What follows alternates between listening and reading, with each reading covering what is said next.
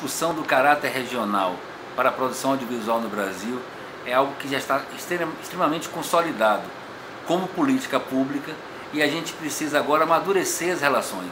Tem uma política, tem uma estrutura que está dentro do PRODAV, do Fundo Setorial do Audiovisual para a Comunicação Pública, que está dentro do DOC TV, que foi um projeto incrível realizado, que teve uma descontinuidade, que nós estamos retomando ele agora, onde todas as regiões do país participam. É, tem o Prodav Dancini também, que dialoga com ah, dois por um para a região norte, por exemplo, e cotas para a região norte, nordeste e centro-oeste. Enfim, eu acho que tem um aparato de legislação que a gente precisa amadurecer e se relacionar com ele. É preciso também um processo de formação grande de discussão. É muito prazeroso para a gente, aqui da Secretaria do Audiovisual, ver que as empresas da região norte estão se articulando com os eventos, com os festivais, com as mostras, inclusive com a Secretaria do Audiovisual, onde a gente já tem participado de algumas conversas de pessoas e produtores que tiveram aqui com a gente e momentos onde a gente pretende estar presente, porque essa é uma definição do ministro Juca que a gente chegue na ponta, que a gente possa discutir. A gente está usando esse artifício e está falando com vocês através dessas lentes aqui,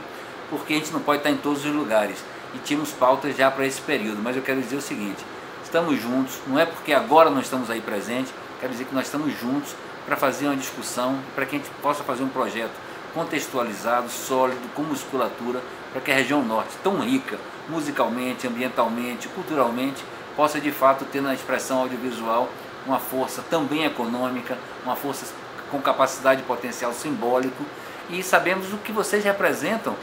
no mundo. A gente sabe o que a região amazônica significa no mundo, não é à toa que na região amazônica estão concentradas as maiores estruturas de film commission, de pessoas que se articulam com produtoras de fora. Então o que eu quero dizer é o seguinte, temos um arcabouço de políticas públicas, não é perfeito, as políticas públicas vão se adaptando e se ajustando a cada momento. Temos já processos realizados aí dentro da, da região amazônica de produção, sejam de microfilmes, ligados à escola, ligados a, a, a vários contextos e que a gente quer aperfeiçoar, aprofundar esse debate e estaremos juntos em próxima ocasião para presencialmente poder fazer um debate mais aprofundado e que tenha melhores resultados para o audiovisual do Brasil, que só pode ser do Brasil no momento que tiver um forte audiovisual na Amazônia. Bom festival e bom encontro para vocês. Boa mostra.